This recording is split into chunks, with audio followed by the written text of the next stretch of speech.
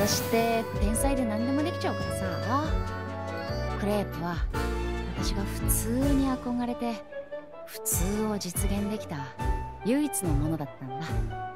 ところが事情が変わって今は最高を目指さないといけなくなっちゃった。皮肉なもんだよ。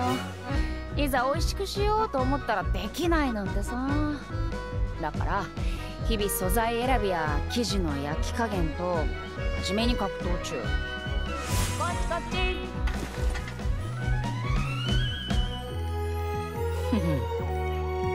ちそこ足元注意だよ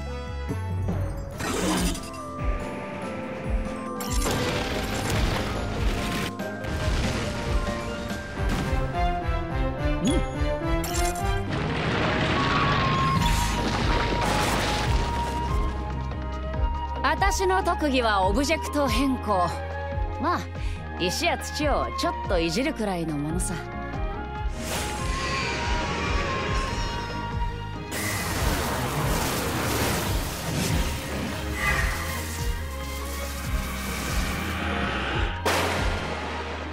たく。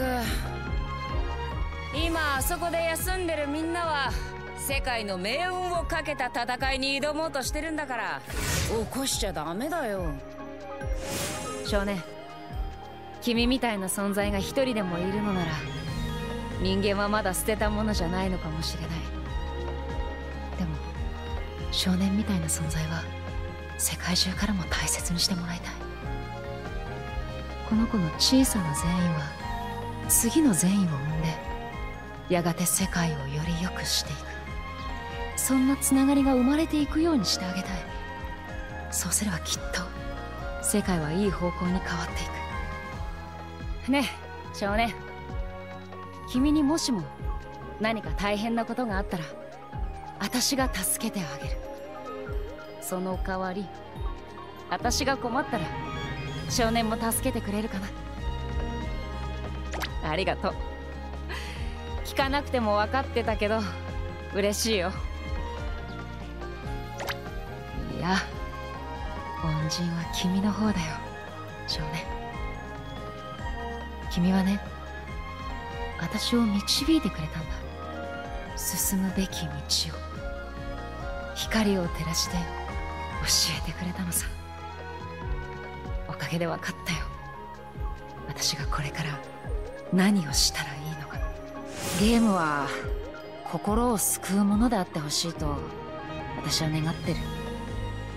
医療の発展で大抵の怪我や病気は治せるようになったけど傷ついた心を救うのはどんな怪我を治すより難しい。だから私たちの作るゲームがその助けになればってそんなゲームを作るためならそのためならどれほどに難しい道でも模索し答えを明らかにしてみせる。ありがとう少年。君がくれる優しさは私にとって特別なものなんだ。すっごく嬉しいよ。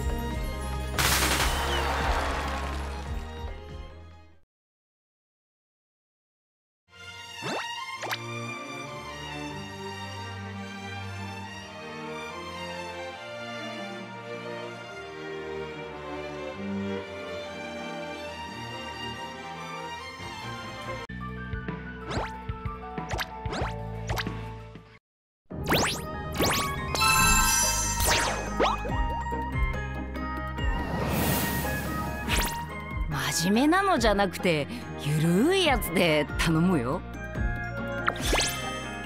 気になるかい？次はね山椒香る唐揚げクレープ。1日8時間の睡眠かな。脳を休めるのが一番だしね。この目がね実は特注でね。結構こだわりの品なんだよ。ミステリアス。とか？恥ずかしめるね少年。何一つ結構。すぐに船を構築して脱出しちゃうから。いつも頼りにしてるよ。でも暴走しすぎないように。古い都市伝説が面白くてさ。人面犬とかもうロマンすぎるよ。建国シミュレーション。時間が秒で解けてまいるよ。途中で諦めること。これは少年の影響かもね。今日はお祝いありがとう。私のプリンセスナイト。新しい年も楽しくなりそうだね。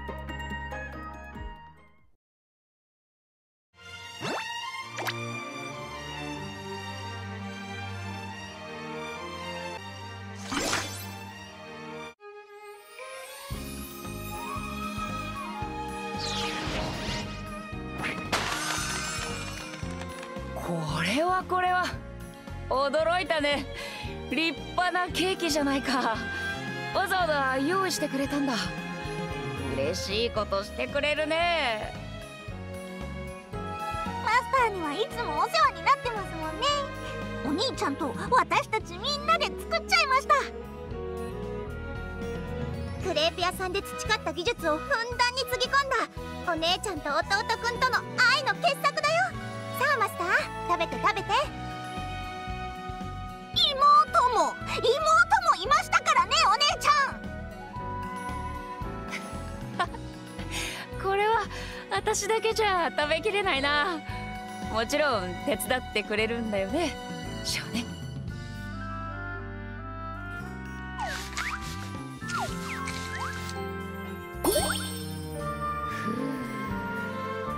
たまにはこうして童心に帰って一心に絵を描くっていうのもいいものだね。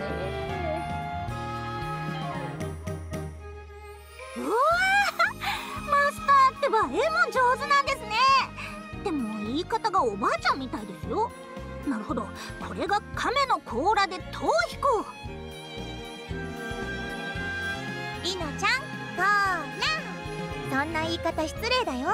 マスターはいつも忙しくて大変なんだから。あごめんごめん。少し感慨深くてさ。確かに老け込むには早いね。何せまだまだこの世界には解き明かすべき謎がいっぱいだ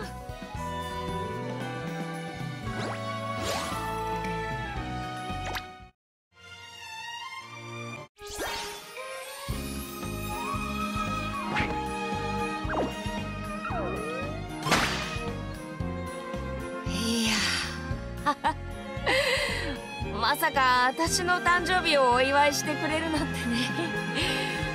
ありがとう少年。このケーキ少年の手作りでしょ？そりゃあ一目見ればわかるよ。これでもクレープ屋の店長だからね。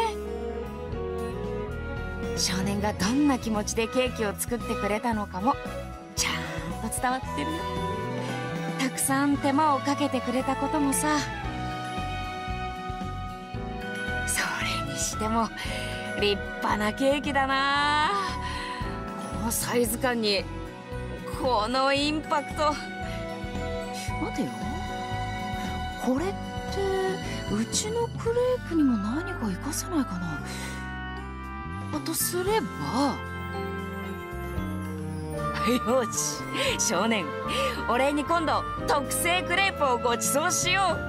きっと喜んでもらえると思うからさ。まあ楽しみに待っててよ。